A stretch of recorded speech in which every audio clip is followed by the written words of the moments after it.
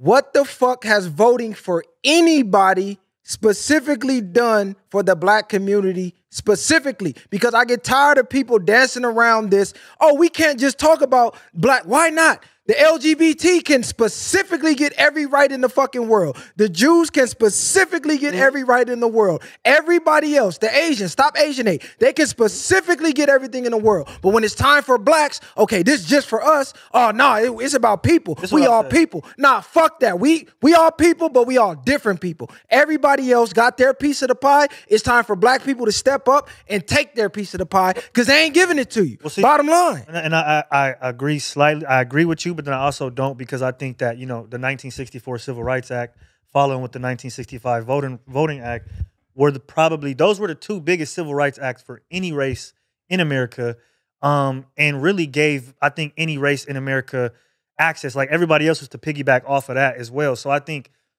while they could do more for us and and maybe voting doesn't necessarily help us all the time, it did I just don't think that we necessarily as a people capitalized on it. I think civil, we lost more with the Civil Rights, Rights Act movement. was the worst thing we that ever happened more. to black people. On top of that, you don't listen. No, of course. In order to right, listen, that, we I mean, talked about that shit all the time. that was damn near the, worst, the worst thing, that ever happened. Listen, what I'm a, saying is that what I'm saying is this: in the long run, of course, it's the worst thing. But if you were 25 years old in 1963 and you couldn't go and do whatever you wanted to do, and you had to go to the back of the bus, whatever the case may be. Uh-huh that might sound like equal opportunity to you at that point in time. Hold on, so back of which bus though? You only had to go on the back of the buses. bus on the white buses. Right, that's what I'm saying. we had our own bus. We had our own bus company. That's what I'm telling you. Black people had their own before civil rights. Civil rights and desegregation destroyed the black insulated economy, right. which you see the Asians enjoying, the Mexicans got theirs, and everybody. They destroyed ours with civil rights because we. And I completely and, understand that, but my question to y'all then is why did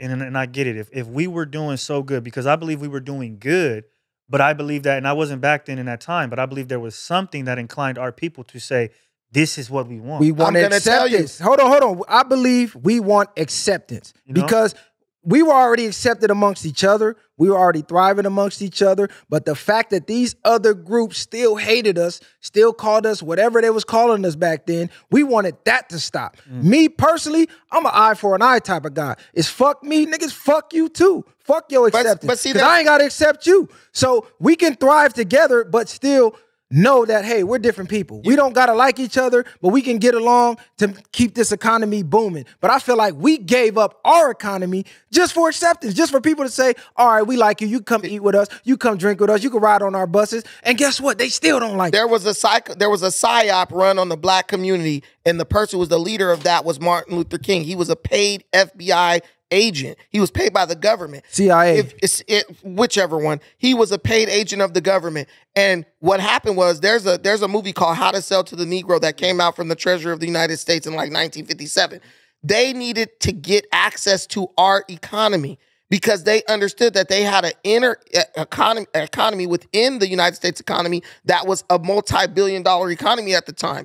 Black if you notice the first thing the first group they always go after, whether it's the uprising in Iran, right, or if it's the civil rights movement. Who do they recruit for that? The students. Kids are emotional, they're usually underinformed, and they depend on their parents so they don't feel the economic impact of the things that they do, right? So they got the student sit-ins when they went in and sat in those different restaurants. Then on top of that, you have Martin Luther King preaching this "We shall overcome all," you know, kumbaya rhetoric, and and the "I Have a Dream" speech was the worst speech in the history of Black America because the I Have a Dream speech took Black progress from being the primary goal of Black people to white acceptance being the pinnacle of Black existence.